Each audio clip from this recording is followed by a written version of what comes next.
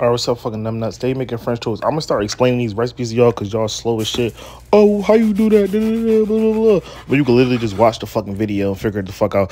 But we're making French toast, but we're using fucking ice cream instead of eggs. Why are you using ice cream? Because ice cream got everything you fucking want. It. It's sweet. It got a little vanilla in there, and it's fucking creamy, just like your bitch. When I be fucking her, you not around, suck my dick. That's how I'm fucking coming. Look, golden brown, just like I love my women. Fuck is you talking about? Sarah, mm, sticky, mm, damn. Everything remind me of your bitch.